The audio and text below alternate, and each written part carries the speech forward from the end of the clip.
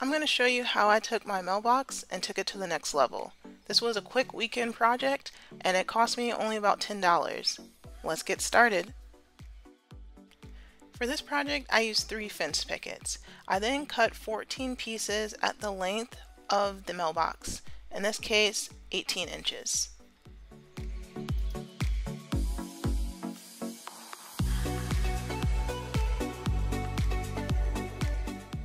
Now I'm going to go ahead and do a quick sand with 100 grit sandpaper.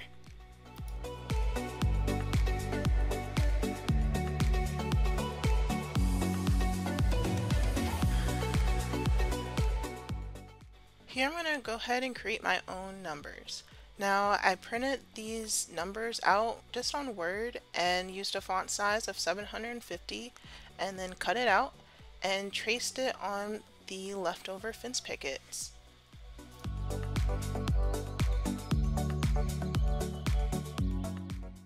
Now I'm going to go ahead and cut out the numbers using the jigsaw.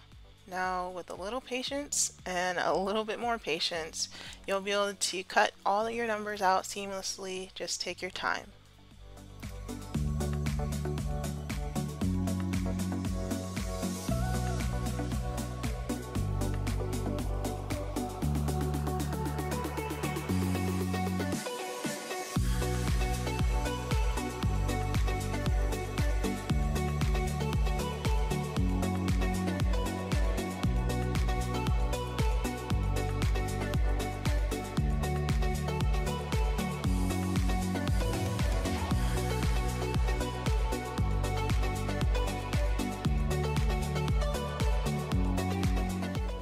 Now I'm going to go ahead and spray some primer on the numbers and then I'll come back later and spray paint the final color, which is black.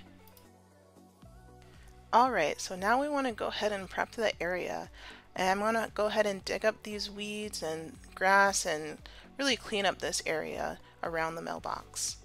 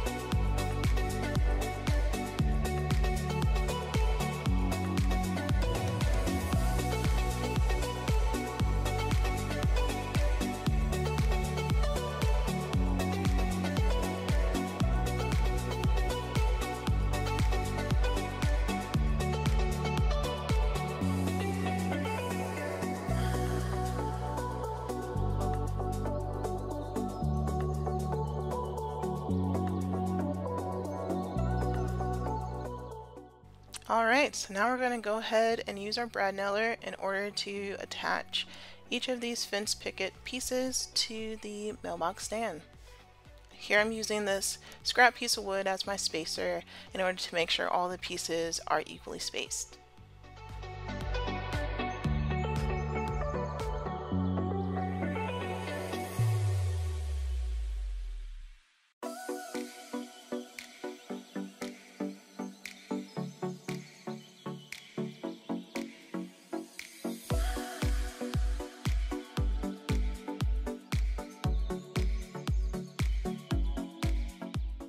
Okay, so now we're going to go ahead and work on the other side.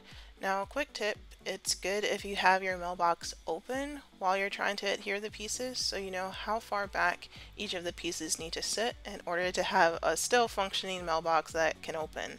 Um, otherwise, rinse and repeat and go ahead and attach the pieces to the post.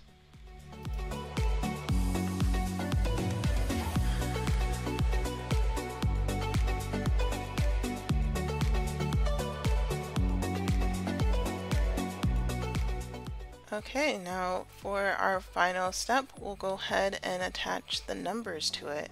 Here I'm going to go ahead and use the brad nailer and I'm going to align it so that it's attaching to the post of the mailbox. And take your time, line it up, and go ahead and attach your numbers.